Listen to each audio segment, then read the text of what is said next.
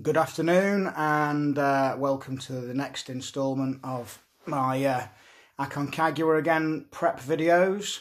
And uh, firstly, I just want to uh, say a big thank you to a couple of people, and uh, you know who you are, who have uh, very kindly donated to my altitude tent fund. Uh, in the last video, I talked about how I was trying to raise £450 um, in order to be able to hire an altitude tent uh, in December, which will really help with my acclimatisation.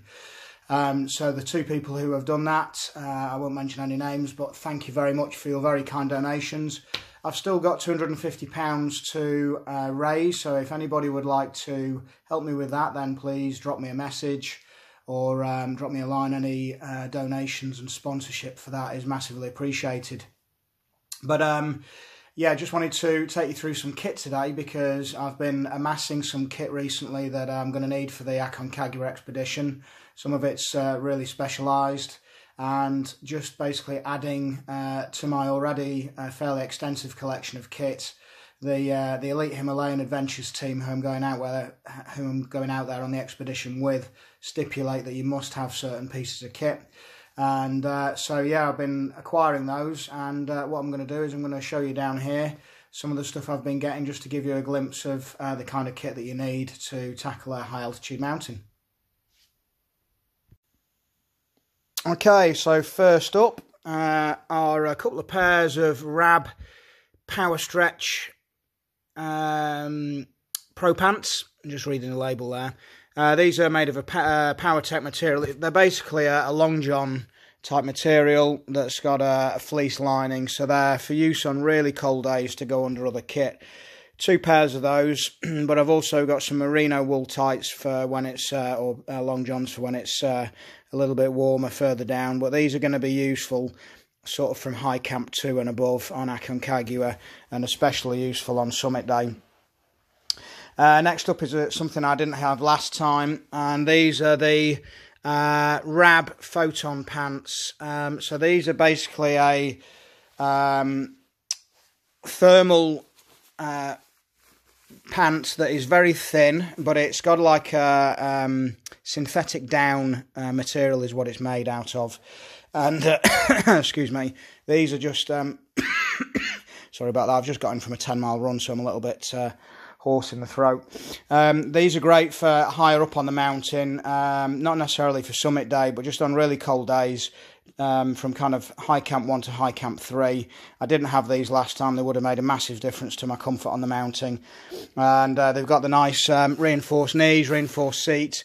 They've got a um, zip all the way down the side on both sides, which is really handy because when you're at high altitude and especially confined to a tent, getting in and out of your clothing can be an absolute mission.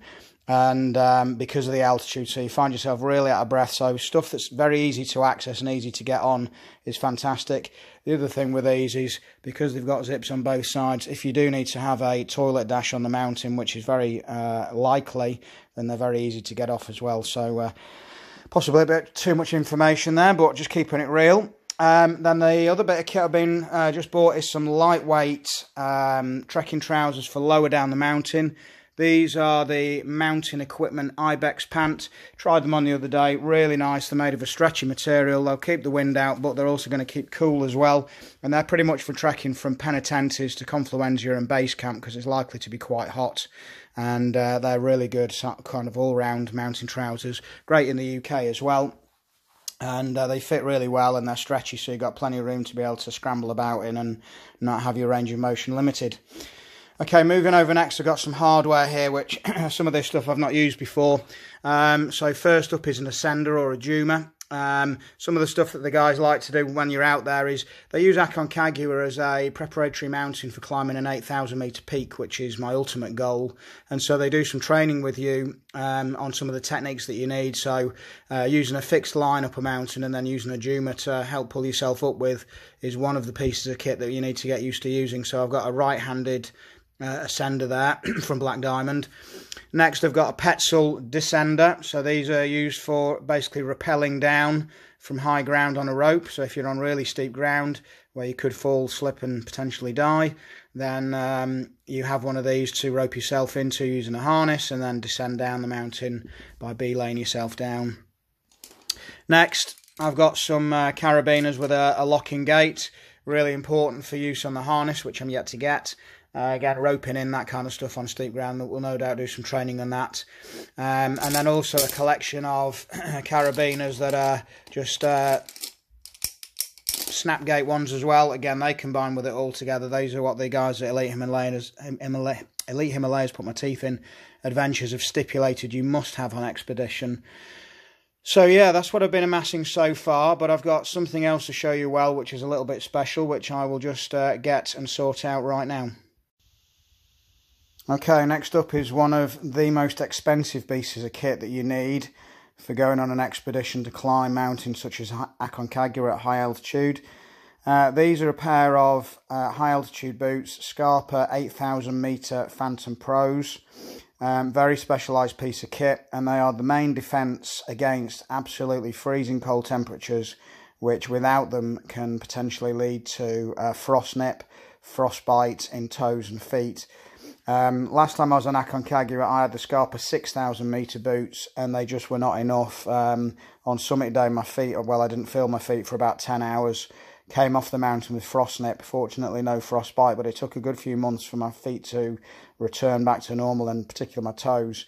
So uh, the uh, the elite Himalayan guys stipulate that you have to take a pair of 8,000 meter boots out there, and these are basically suitable for getting to the top of the very highest mountain in the world, which is Everest.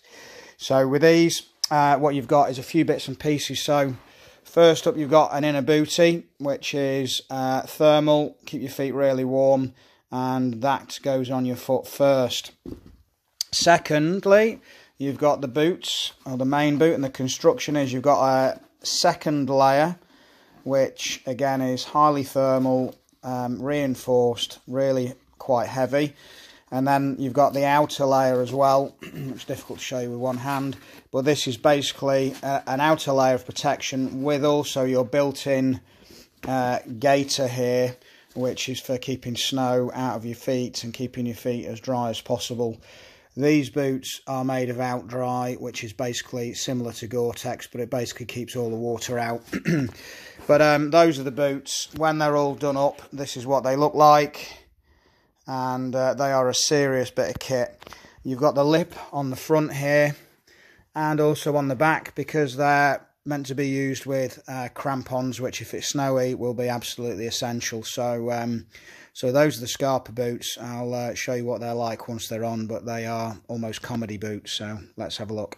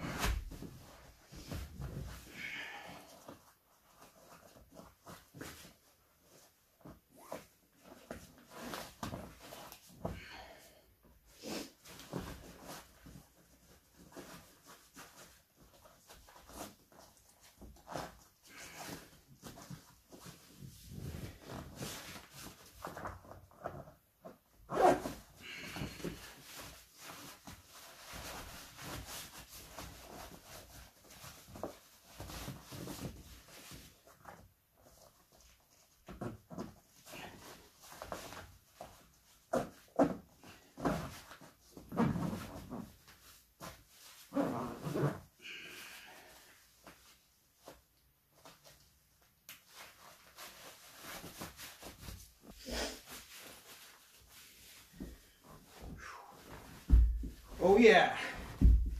Boot me up. now, uh, obviously those boots have taken me about a minute per boot to put on because I've got a nice comfy sofa here to be able to put them on. But uh, when you're up at um, just under 6,000 metres altitude, stuck in a tent, nowhere to sit apart from on the floor, Trying to get those boots on becomes an absolute mission. And I remember trying to put on the 6,000 metre boots last time at 4 o'clock in the morning when we were setting off a summit day. And it must have taken about 15 minutes per boot to put them on. It was absolutely horrendous. So um, I'm expecting it to be the same next time. But, um, but yeah, anyway, those are the boots. Serious piece of kit. And I'm sure you'll agree, very sexy. Anyway, uh, thanks for watching this video. I've got to get these uh,